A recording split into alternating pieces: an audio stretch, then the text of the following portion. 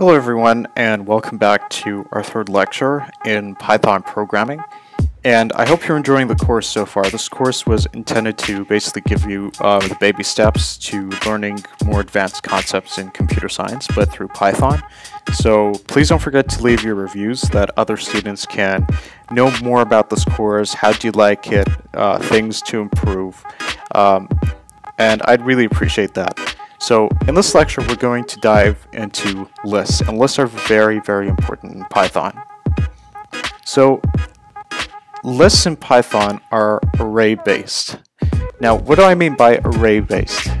It means that you can actually store data in a very organized manner in lists. So let's visualize this. Let's forget everything we know so far about lists. Let's say you were trying to build a wall. The foundation of a wall starts with bricks. So let's say you are placing a horizontal um, row of bricks, one after the other. Each brick represents a data, but then your wall is basically the list. So that's exactly how you can visualize a Python list. They are usually in the form of square brackets, and then whatever's in within the square brackets is basically the data that you want to be stored. And lists are mutable, and we said anything that's mutable means that you can change it. So lists can be altered. There's a very important um, concept of lists, which is list slicing. This is mostly used when you want to access specific elements of a list. So I'm going to start with a variable, which is lst, I'm going to set it equal to a list of ints, which is 1, 2, 3, 4, 5, 6, 7, 8. And then when I say list of square bracket 2, this is basically giving an instruction to Python to return back to you whatever is at index 2. So some Python, some um, programming languages start at index 1, but Python always starts at index 0. So eh, your index 0 is 1, your index 1 is 2, your index 2 is 3, so on, so on. So when I say list of 2, that means I have to go to index 2. So 0, 1, 2, that value over there is 3. The next uh, form of slicing is when you say 3 colon negative 1. So when you use colons, for example. Negative 1 in Python is always referring to the last element of the list. Don't forget that.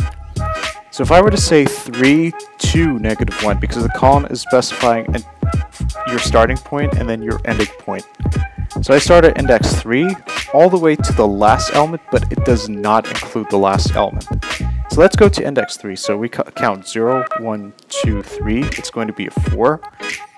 What this is going to return is 4, 5, 6, and 7, but it does not include 8. That's a rule in Python. List slicing can have up to three parameters, and parameters are basically input instructions to give to your computer.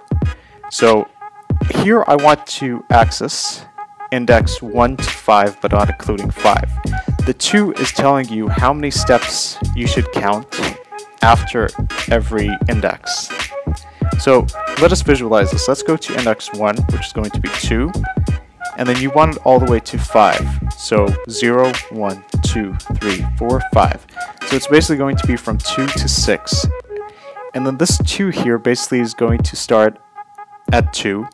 And then you count 2 steps after 2, which takes you to the next element. So it's going to return back 2. You count 2 steps. So 1, 2. It will return back 4. Then you count again 2. So 1, 2 it doesn't return back 6 because 6 is at index 5. And then as we said, you were saying index 1 to 5 but not including 5. So, I mean, if you're confused, just um, repeat the uh, what I said just now and try to follow up. Okay? There are a lot more tactics you can find online for list slicing, but these are basically the three main um, types of slicing. And slicing can also be performed on strings because strings basically have a data of letters, you can say. So it's basically like um, how many letters or um, what part of a word that you want to access. So list slicing comes in handy. Before I get into nested lists, I want to do some practice of list slicing.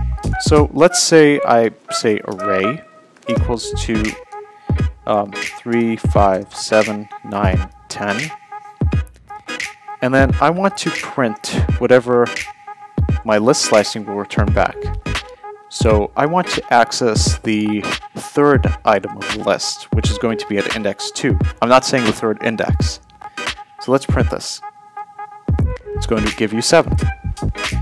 But let's say I want to access, I want this list to give me, let's say from index 0 to the last index, but we're going to count two steps.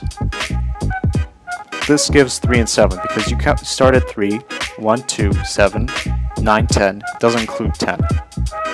Okay, so these are just some examples. A nested list is basically a list within a list. So in Python, you can have like multiple lists that are basically within an enclosed main list. So here I have 1, 2, and 7 as regular ints, but the data type here is a list because you have another list that is within the big list here. So you have a list that has 3, 4, and 5. So if I want to say list, get me the second, uh, the value at index 2, that gives you 3, 4, and 5 because at index 2, it's a list. But if I were to say uh, list at index 2 of index 0, that means we go to index 2, so we start 0, 1, 2. That's your index 2.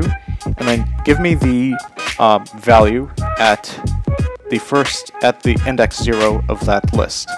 So it's going to be 3, because you are specifying uh, exactly what you want from that particular list. So let me do an example. So instead, let me cancel 9, and instead I'm going to do 1, 2, um, another 3. So we have a list within a list within a list.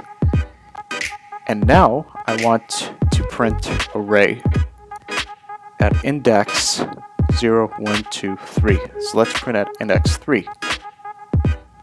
As you can see, it's giving you this entire thing here. But let's say I want to access the um, last element As you can see here, it doesn't return back 3 because 3, this is a list here, it's not an int. But if I were to say at index 0, it's a 3 here because here's a trick. You have three lists, so you can basically have three indexes to, um, to get a very specific element. There's another thing about lists in Python that is very important, and it comes, it's basically the length function. So it's like you want to calculate how many elements there are in a list. It's not the indexes, it's the elements. So if I were to say print length of array, whoops, sorry. Let's have a look here. It's going to be a 5. Why? Because we have one, two, three. This whole thing here is considered an element, so it's the fourth element, and then here's the fifth. We're not counting by indexes. There's a difference between an index, because when you're counting the number of elements, you start with 1. But if you're counting by indexes, you are starting by 0. There are mutating methods for lists. There are two main methods. There is append and extend. So let's say if you wanted to add a number to the main list, use append. So if I had a list of 1, 2, and 3, and I wanted to add a 4, so I just say list dot append, because append is a function. So your list is going to end up looking like 1, 2, 3, and 4. But extending is when you want to add two lists together. So actually it's better if I show you examples. Here, let's say I wanted to add 100 to array. So I'm going to use append 100. I'm going to print array. So our resulting list will look like that. You see the 100 has been added here. But let's say I also want to add another list after 100. So array.extend to 4. As you can see here, you have also 2 and 4. But what happens if instead of using extend, I use append here. I'm going to try and let you guess that. Have you guessed it? Let's have a look now. Oh, there's a big difference now. You have a list within the main list because you are basically just adding instead of extending. Extending is adding two lists together, or in other words, you can say concatenating.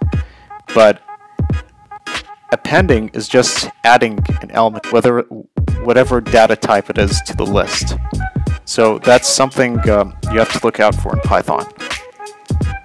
There are other ways to mutate, mutate lists. So for example, you can change the value by accessing a certain index. So I have 1, 2, 3, 4, and 5. Let's say I wanted to set the value at the second index to 6. So I go to 1, 2, so I go to index 0, 1, 2, so the second index's value is 3. If I use this line, your list would be 1, 2, 6, 4, 5, because you actually mutated the list. There's also dot pop, which basically removes the last element. So if I were to call it on list.pop, it's going to remove 5, and your resulting list will be 1, 2, 3, and 4.